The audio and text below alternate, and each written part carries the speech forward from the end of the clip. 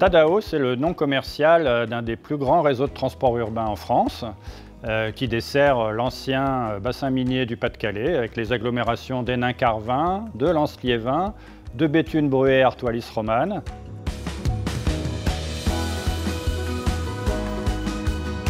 Tadao est très engagé en matière d'environnement, euh, déjà depuis plusieurs années. Par exemple, on a été les premiers en France à mettre en service une ligne de bus 100% hydrogène. Autre exemple marquant, c'est ce qu'on appelle le zone management, qui nous permet euh, d'optimiser la gestion des batteries de nos bus hybrides en pouvant couper le moteur thermique euh, dans les zones euh, qui sont très habitées et d'utiliser au maximum le potentiel de traction de ces batteries électriques.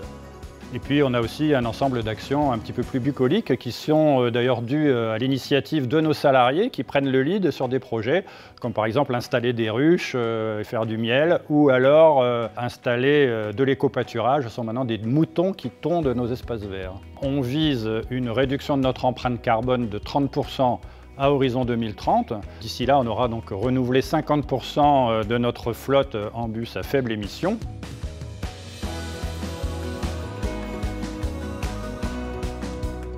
Alors l'inclusion, euh, pour nous, c'est une innovation. Donc on le gère dans le cadre du, laboratoire d'expérimentation des mobilités de Transdev qui s'appelle Lemon. On a développé un programme d'apprentissage de la mobilité à destination euh, des quartiers prioritaires de la politique de la ville, donc des gens qui sont en difficulté sociale, mais aussi euh, à destination des collégiens principalement, avec par exemple des casques de réalité virtuelle qui permettent de s'immerger dans le réseau et d'apprendre à l'utiliser de façon très ludique.